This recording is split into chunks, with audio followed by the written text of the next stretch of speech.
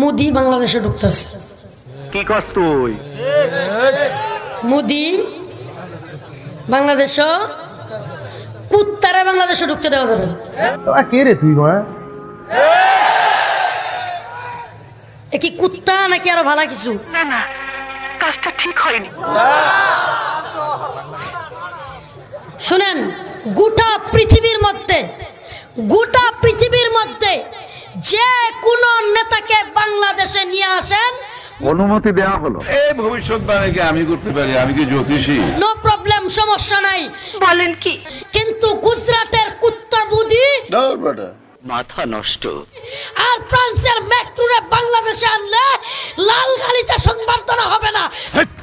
কি বলছিস তুই?